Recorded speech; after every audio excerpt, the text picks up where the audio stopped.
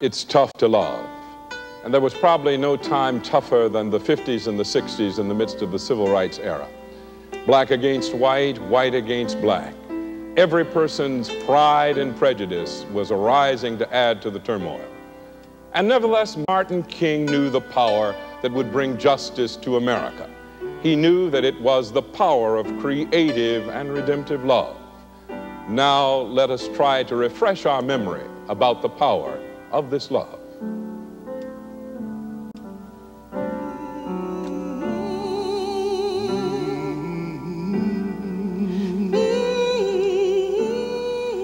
There are three words for love in the Greek New Testament. One is the word eros. Eros is a sort of aesthetic, romantic love. Plato used to talk about it a great deal in his dialogues, the yearning of the soul for the realm of the divine. And there is and can always be something beautiful about Eros, even in its expressions of romance. Some of the most beautiful love in all of the world has been expressed this way.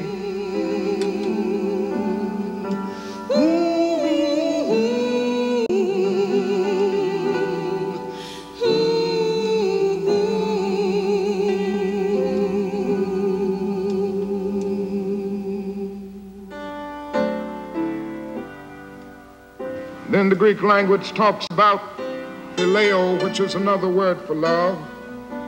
And phileo is a kind of intimate love between personal friends.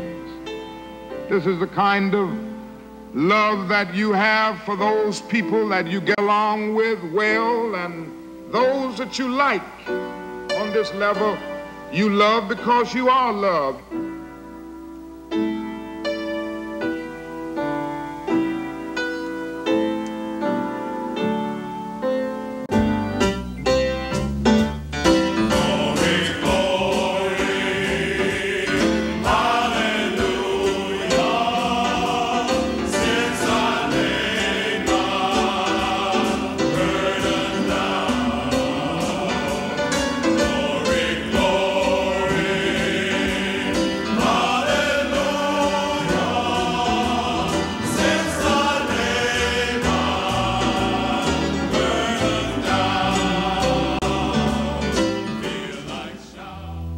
Then the Greek language comes out with another word for love. It is a word agape.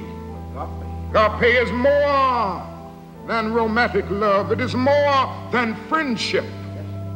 Agape is understanding, creative, redemptive goodwill for all men.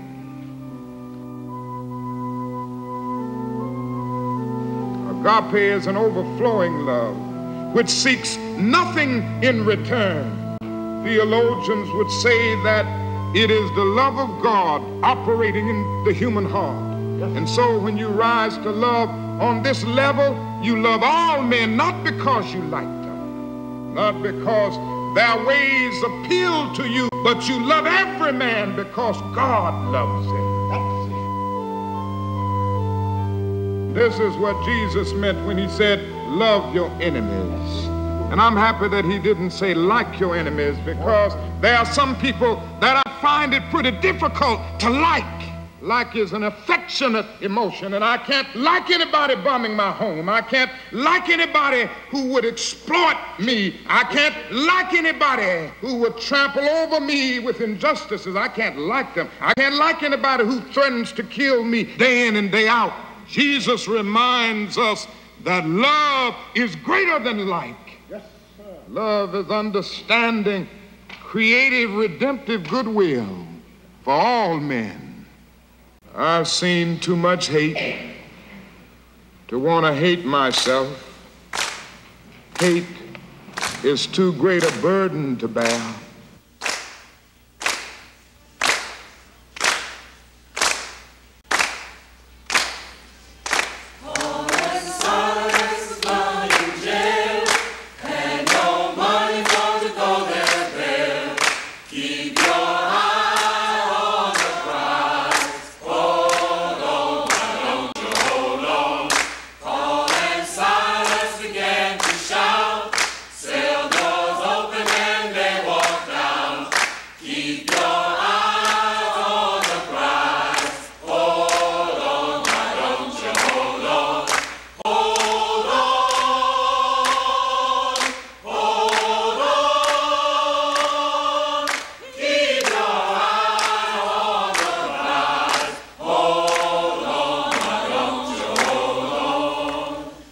Now, we must be able to stand up before our most bitter opponents and say, we shall match your capacity to inflict suffering by our capacity to endure suffering.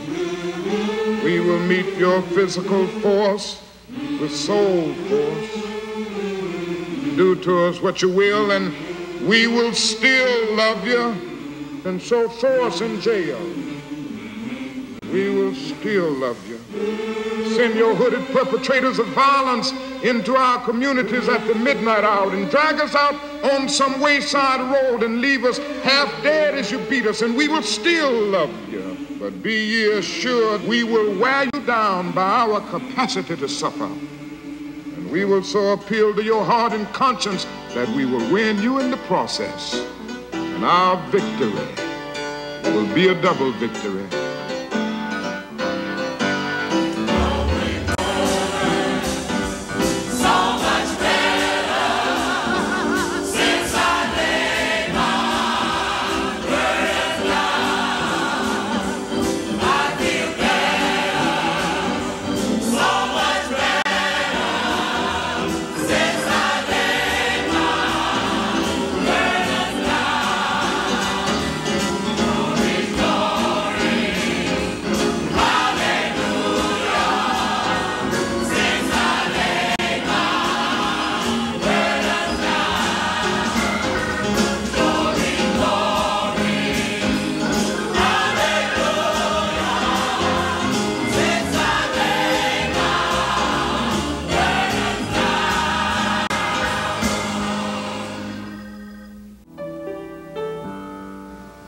Today I still have a dream. Men will rise up and come to see that they are made to live together as brothers.